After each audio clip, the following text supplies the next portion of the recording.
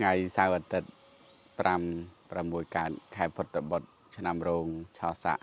ពុទ្ធសករាជ2568ត្រឹមនៅថ្ងៃទី7 8ខែកញ្ញា2024កន្លងទៅ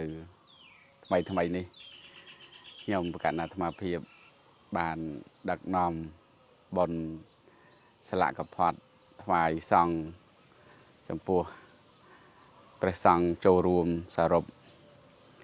205អង្គនៅ ក្នុងការចាប់ស្លាក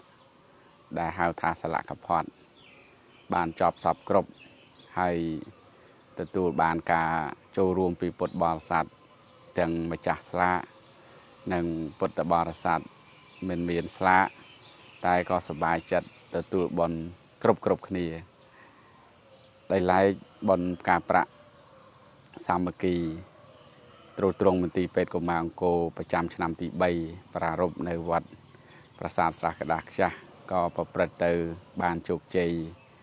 ក្នុងការចូលរួមពីពុទ្ធបរិស័ទស្មារភាពទទួលបានបច្ច័យ4ពីសហរដ្ឋអាមេរិកចំនួន5000ដុល្លារបើគិតជាប្រាក់ខ្មែរ20លានរៀលហើយបូករួមនឹងពុទ្ធបរិស័ទនៅក្នុងការចូលរួម ទាំងអស់គ្នាទាំងក្នុងនិងក្រៅប្រទេស ដែលបានចូលរួមសរុបជាប្រាក់ខ្មែរ20លានរៀលបើគិតជាដុល្លារ5000ដុល្លារសរុបទាំងអស់ថវិកាដែលបានសម្រេចពីពិធីបុណ្យផ្កាប្រាក់សាមគ្គីទ្រុត្រង់មន្ទីរពេទ្យកុមារអង្គរគឺបាន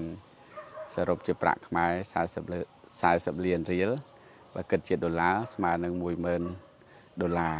នេះគឺ ជាលទ្ធផលនៃពិធីបុណ្យការប្រាក់សាមគ្គីដើម្បីបន្ត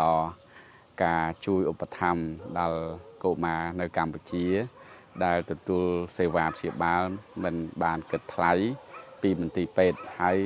មន្ទីរពេទ្យបានស្វះស្វែងរកថវិកាពីសប្បុរសជន ដើម្បីបានចូលរួមឧបត្ថម្ភសូមបដិជ្ជប្រគុណនឹងពុទ្ធបរិស័ទទាំងក្នុងនិងក្រៅប្រទេស បានត្រេកអរជ្រះថ្លា អនុមោទនាក្នុងប៉ុនទាំងពីរគឺប៉ុនស្លាកផាន់ហើយនឹងប៉ុនផ្កាប្រាក់សាមគ្គីត្រួតត្រងមន្ទីរពេទ្យកុមារអង្គរហើយឆ្នាំនេះ គឺជាឆ្នាំដែលខ្ញុំកណ្ដាអាត្មាភាពបាន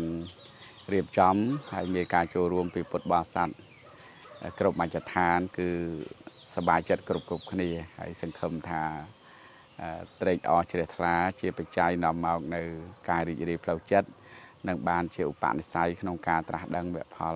ឲ្យបាន គ្រប់គ្រប់អង្គគ្រប់គ្រប់គ្នាកុំបីឃ្លៀងឃ្លាតខ្លាចជាប្រការៈដតីឡើយសូមអនុមោទនា